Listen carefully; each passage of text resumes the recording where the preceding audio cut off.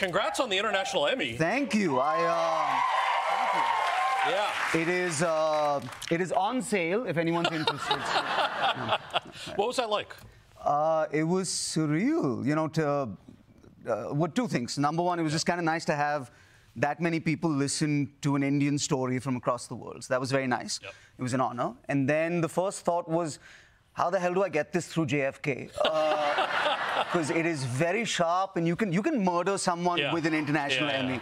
Which doesn't happen at the after party. It's just. Uh, and I'm, I'm typically used to being like very nervous at JFK anyway. Sure, yeah. Uh, so I just and when you have that statue with like the it, it's like I've metaphorically kidnapped a white lady. So so th- the guy was just like, "What's in the bag?" Yeah. And I was like, "It's an international Emmy," and, and the guy at TSA was like, "Oh, word," and, and I was like, "Okay, precipitation."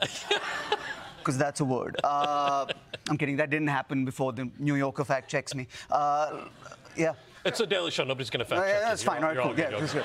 So look, th- this win was special. I, I assume because uh, based on your stand-up special, you thought uh, at a point that your career was was over. You were Yeah. called a terrorist. There were criminal charges that were filed against you for the the 2021 poem Two Indias. Um, that that was like a, a gripping, reflective account of, of political and and uh, social complexity in India. And I have to be honest, when I saw both of those, both the poem and the and Mm-hmm. the special, my only reaction was this is a brother who loves his country Yeah. and just wants to make it better through conversation and through art. But not everybody had that reaction. So t- talk me through sort of that process and what happened. Well, I mean, the, the central theme of the special, I think, is that that love is never yelled, love is felt, and uh, that includes love for your country, where it's never sort of a loud proclamation. It's kind of a, a quiet demonstration, and, I- and I don't think there's a better demonstration of love than laughter, and and I think that that you know. Um, you know, if you love someone, you want to make them laugh, and Yeah. if they love you, they laugh back, and that goes for your country too. But I, I was at the center of this controversy, and I'm a small fish, so I'm not accustomed to that kind of limelight. And, and I think uh, in America, for instance, if you're a big fish and you're in a controversy, there are options, right? So you can go on Oprah, um, but then you lose your bodyguards. Uh, you could blame it on antibiotics which doesn't work in India because we know a lot about antibiotics anyway. We're like, amoxicillin doesn't cause courage. Um, or you could, uh, if you know Jada Pinkett Smith's publicist, I guess she.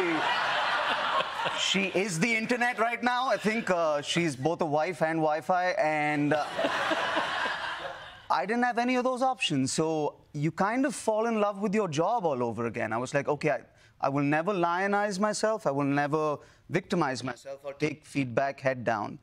And the first thing I do will, write a, will be I'll write a joke about it that hopefully makes both sides laugh. And four months later, uh, this is what I wrote. I wrote down saying, I was on the BBC homepage, and there was a big headline that said, Comedian polarizes the nation. Do you know how badly you have to up before the British say? I said, Do you know how badly you have to up before the British say that you divided India? Uh,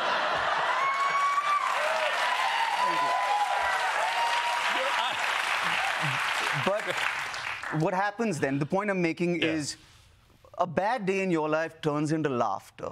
And I think happiness blooms when it's watched. And so you get to watch people be happy because of that. And then that turns into a gold statue someday. And you're kind of you're kind of reminded that comedy, this job on its best day can sometimes be alchemy.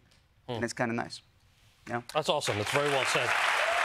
Um, the the little British thing reminded me. You know, my my grandparents were uh, secular freedom fighters, Yeah. uh, and so those were the stories that we heard growing up a, a- as kids, and that, that obviously influenced me later in life. Um, recently, uh, Prime Minister Modi was hosted by uh, by President Biden, and, and during that visit, uh, a lot of artists in the South Asian uh, American space were having conversations about our counterparts in India and free speech, free speech and comedy, artistic expression.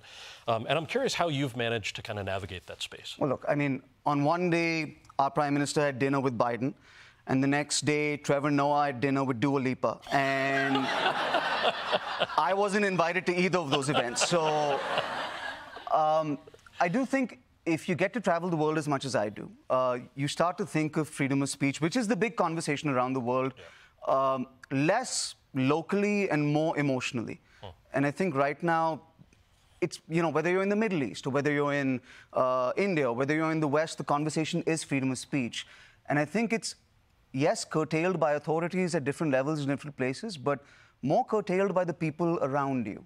You know, we live in this world where you see somebody as just a box, and you could you try and control their speech as well for their ideas. And so sometimes we blame it on these larger things above us, but really we're submitting to something scary inside us. And if we can fight that primal urge to lash out at each other, I think then the world just gets better, freedom of speech wise. Like, here's how I think freedom of speech works um, it's like you and me are on a train together, right? And somewhere in the corner is a guy who has his dick out, right? Which guy? Uh, just it's it's New York, so 50% of the compartment. Yeah, but enough. uh, you and I can't do anything about the guy with his dick out. I I'm just talking to see if you see it too. Yeah. And I think that's what freedom of speech is. I just need to know that you also see the dick.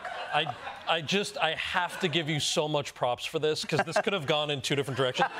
this could have, this could have ended up with like the New York Times, Bombay Times, Yeah. Times of all of them just writing about some serious political conversation, and instead, it's like Kal Penn and Vir Das are on a train with a dude whose dick is out, There you and that's, that's, There you the- go. yeah. Thank you, Yeah. thank you. You're really just elevating the humor in it. So, uh, I have to give you flowers, though. Can I take a second to give you flowers, if that's okay? Yes. Uh, okay. So the reason that many brown men like myself come to America to try and act is because we saw you be the first Indian brown man be edgy and cool and funny in American cinema. So yeah. So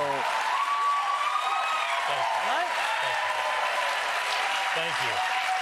so. I would like to thank you for ruining so many lives. because I came to college in America because I saw Van Wilder. Oh, my God. And then I went to college in Galesburg, Illinois. Uh-huh. And I'm like, where the f- is this college where people sleep with the Indian guys? Kal Penn is a liar. Uh, and just by the way, I think you know this. Statistically, this is the sexiest accent in the world. All right, I'm just saying. Uh, right? At this given moment, more women are having sex with this accent than any other accent in the world. All right? So, in your face, France, and also, you then do Harold and Kumar. Yeah. Where you, you go and get cheeseburgers, and at the night, at the end of the night, you make up with your parents. Do you know what would happen if I told my parents I spent the whole night looking for beef? Harold would go to White Castle. Kumar would have an arranged marriage the next week.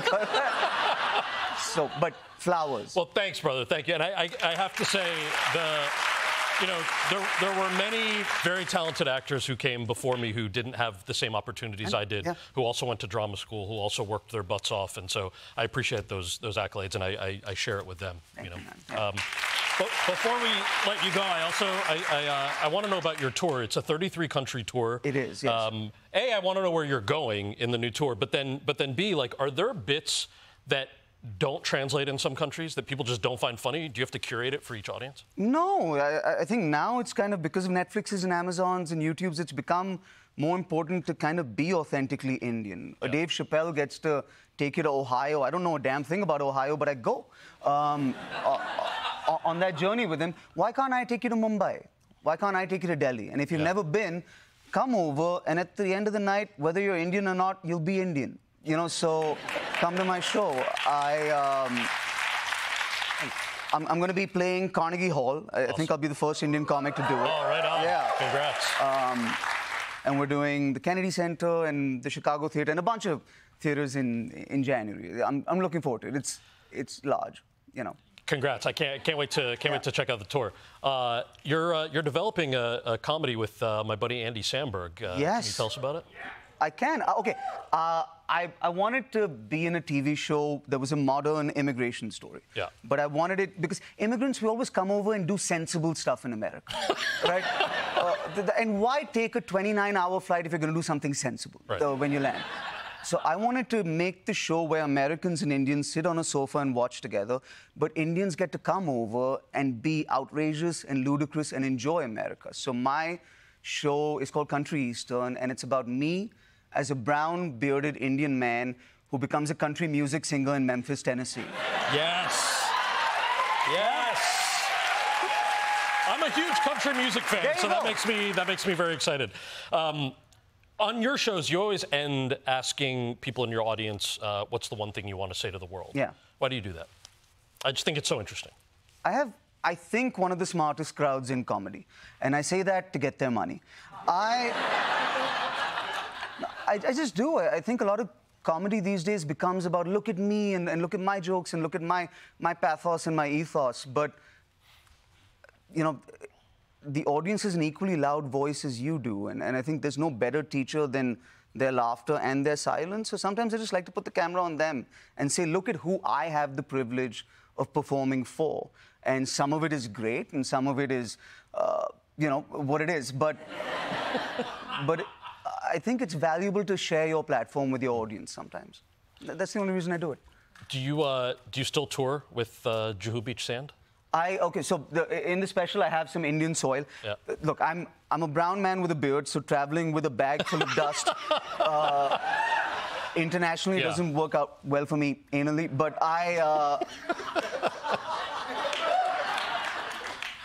uh, I, I try to look. Yeah. My, my shows are, are like this big reunion. You know, if you're not from India, you get integrated into India. If you're Indian, you sometimes haven't been in a room full of Indians in a really long time. Do you know how many people hook up at my shows? Like, This is the best fing ad ever. that right? By the way, yeah. Just- Listen, yeah. I'm like Seema auntie with a jawline. All right, that's that, that's who I am. right. like I, I have couples that are formed at my shows, so it's this big India celebration. It's kind of cool. Man, that's that's awesome. Thank you so much for coming. Vir will be performing his Mind Fool World Tour to Carnegie Hall on January 19th with more stops in the U.S. in January and February. Vir Das, everyone.